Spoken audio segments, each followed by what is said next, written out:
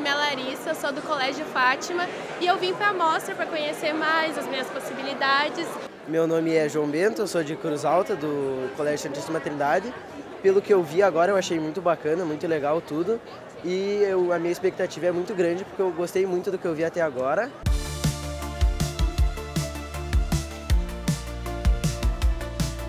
Vim aqui para dar uma olhada no curso de Direito e Odontologia que eu tenho interesse. E eu vim aqui para conhecer novos cursos, ver se tem outras possibilidades, além do que eu já pensei também. E eu vim aqui para descobrir um pouco mais sobre o curso que eu tenho interesse, que é Psicologia, ou para abrir minha cabeça e conhecer um pouco mais de todos os cursos aqui. E hoje eu estou aqui para essa mostra. Eu acho que vai ser muito legal eu gostaria de ver física, é, pedagogia e jornalismo. E hoje eu estou aqui na mostra para descobrir os diversos cursos que a UFN tem. E eu espero tirar algumas dúvidas, é, conhecer mais dos cursos em geral. E acho que vai ser bem interessante, divertido.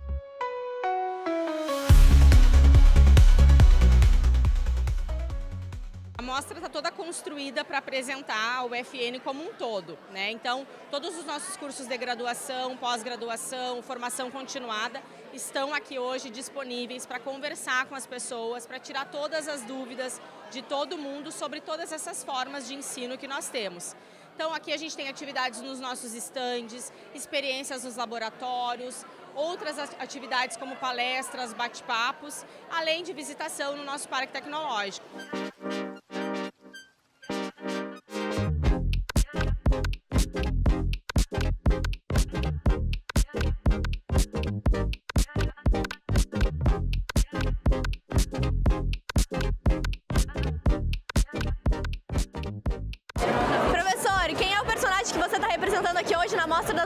Da UFN.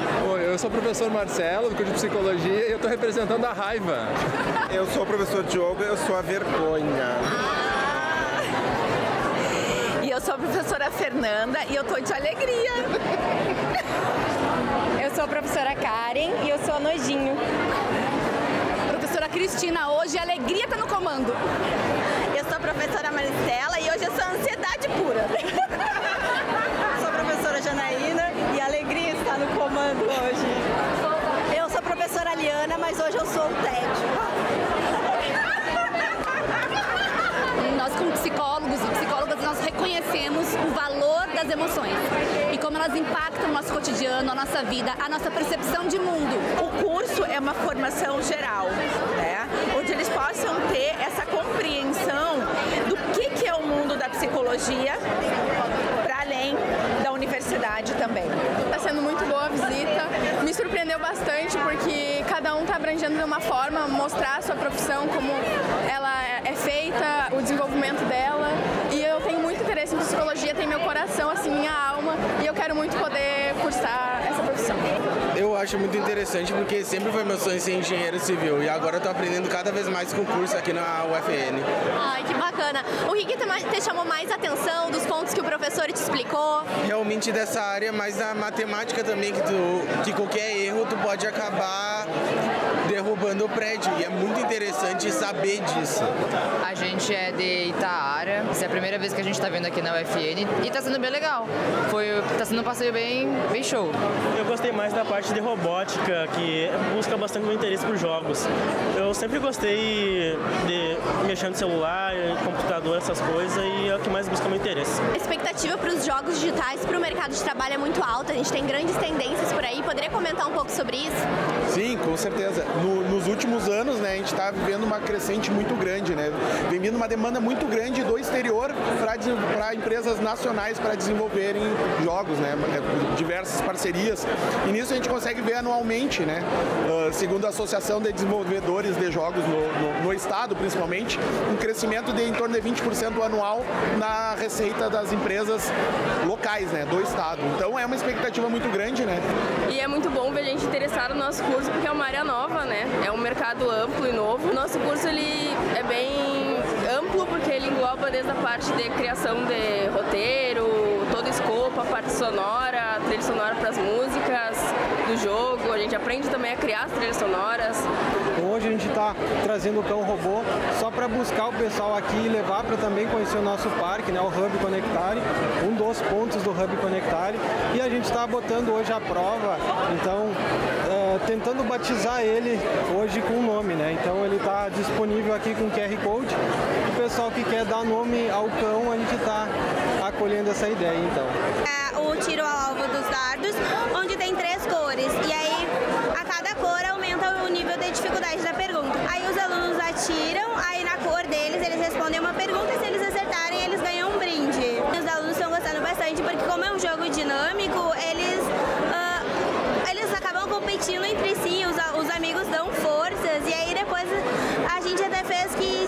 sabe responder e o teu amigo ajuda, ele ganha o brinde junto. Parabéns por ter acertado o que é a reciclagem.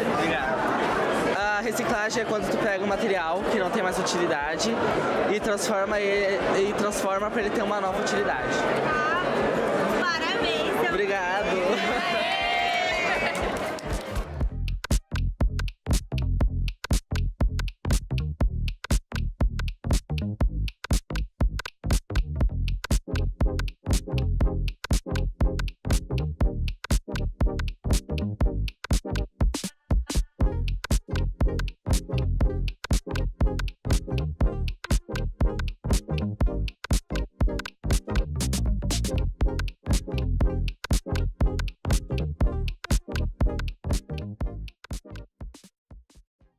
Universidade está aberta todos os dias, mas hoje é um dia especial.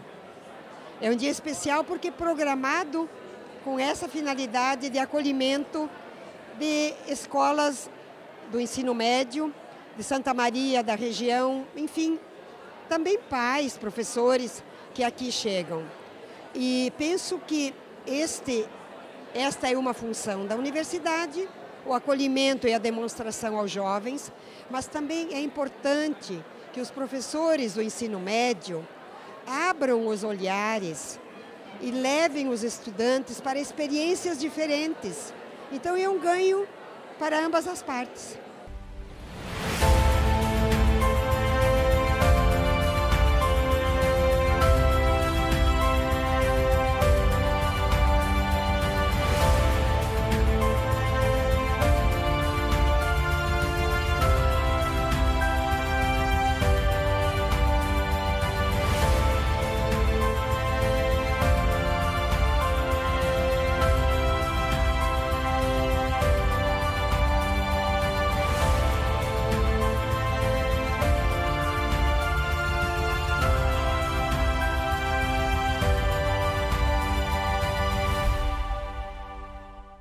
Agora nós vamos levar uma turma de alunos para conhecer o Tech Park.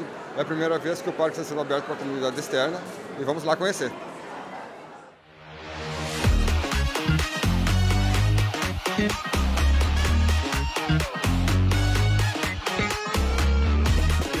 Nessa visita ao Tech Park, eles conheceram algumas das instalações que já estão prontas nessa nossa fase. Tá? Então, eles conheceram o Fab Lab, que é um laboratório de prototipação, visitaram o Plastimaker, tá? E aqui a gente terminou com aonde tem as máquinas de corte a laser, as routers CNC.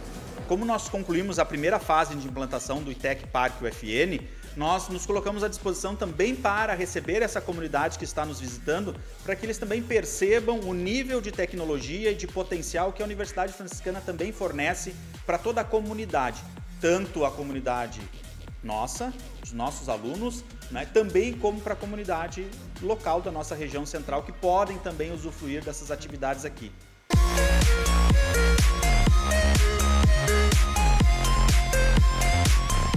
Ver a área da tecnologia lá em cima, ver que está evoluindo e a gente que nunca teve contato com, com essas máquinas é muito interessante. A gente que só chega o produto em casa, vê como é preparado, vê os cortes, tudo direitinho. A tecnologia, ela permeia todas as nossas ações do nosso dia a dia e muitas vezes nós não temos o entendimento de como que se gera esse produto, como a tecnologia chega até nós. O Parque Científico e Tecnológico da Universidade Franciscana, nesse primeiro momento em que nós estamos recebendo os alunos do ensino médio para conhecer um pouco, é para também mostrar que a Universidade Franciscana possui tecnologia de ponta que eles podem, durante a sua formação em qualquer uma das áreas do conhecimento da Universidade Franciscana, transformar as suas ideias em um produto e entender o passo a passo desde a formulação até a geração do produto final. Por isso que nós temos diversos equipamentos que permitem a transformação de ideias em produtos. Gostei bastante da visita, é, gostei de conhecer as máquinas, principalmente lá em cima na parte do Plastic Maker. Gostei do trabalho que eles fazem com as tampinhas, enfim, gostei bastante. Hoje a gente está entregando para eles cada um foguetinho desses, tá? Onde ele é gravado o símbolo da Conectare e depois é feito o corte do MDF muito interessante para a gente conhecer bem as áreas, ter é, a gente às vezes que está entrando para esse mundo agora fica meio balançado do que seguir, né?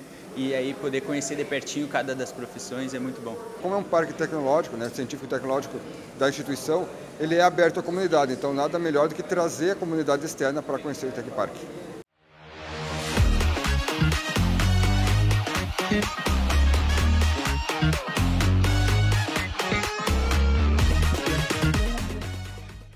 Nós preparamos essa mostra com muito carinho. Aqui estão envolvidas toda a comunidade acadêmica da Universidade Franciscana, alunos, egressos, professores, funcionários. Os nossos laboratórios são de primeira, primeira categoria, porque nós acompanhamos todas as questões, as novidades do mercado de trabalho, então nós eh, atualizamos eh, seguidamente. Nós temos um corpo docente que é invejável, altamente qualificado, e isso tudo é possível verificar nas avaliações dos nossos cursos, onde nós temos cursos avaliados, a maioria, em 4 e 5, num conceito que vai até 5. Nós temos um curso de bacharelado em filosofia, que vai, vai funcionar no turno da manhã, diferente da licenciatura que funciona à noite. Então esse curso é, vai ser, ter o seu início agora em março de 2025.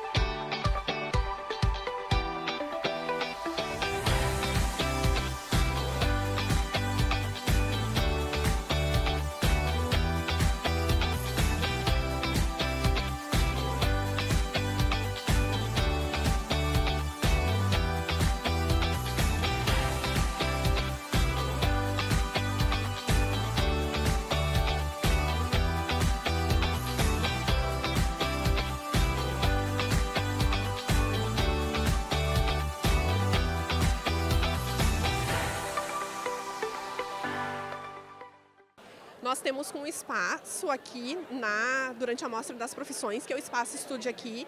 Este espaço tem pessoas disponíveis para fazer a inscrição para o vestibular e também esclarecer as dúvidas que eles possam ter sobre o processo seletivo ou sobre a vida acadêmica da Universidade Franciscana. As inscrições já estão abertas, elas permanecem então disponíveis até o dia 11 de novembro e a prova ela ocorre no dia 25 de novembro, no turno da tarde, de forma presencial para todos os cursos aqui na Universidade Franciscana.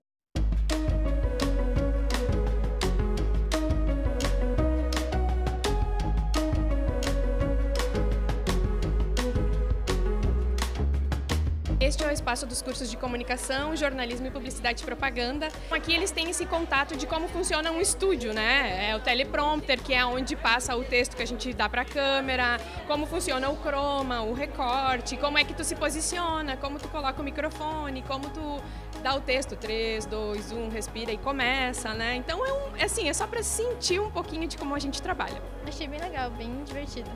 Não ficou com vergonha em frente às câmeras? Fiquei com muita vergonha, ainda tô, tô nervosa. Mas é um desafio legal para aprender, saber como é que funciona, né? Sim, sim, bem legal. Eu achei bem interessante essa área de comunicação, porque uh, nos montei bastante informado das coisas acontecendo. Eu achei bem interessante a experiência.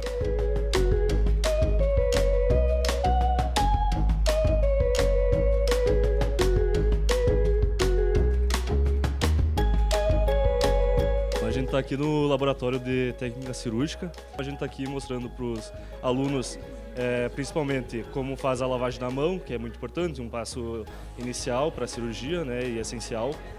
fazer a higiene. Também estamos ensinando como fazer sutura. Então mostramos pontos simples, diversos pontos, a gente está mostrando pontos simples para eles. É uma amostra do que a gente tem aqui nesse laboratório. Me conta um pouquinho do curso, vocês já decidiram, estão em dúvida, estão pesquisando? Em dúvida ainda, mas é uma das opções. Sim, eu decidi pela medicina. Estou no terceiro ano e pretendo prestar o vestibular. Por quê? O que, que te encanta na medicina? Ajudar os outros uh, na saúde, tratar os pacientes. Sempre foi uma área que me interessou muito e, e é isso. E essa experiência aqui hoje, né, de colocar a mão na massa, é bacana para vocês conhecerem um pouquinho mais a profissão? É muito legal porque a gente consegue começar a ter uma experiência com o que a gente realmente gosta e o que a gente quer fazer.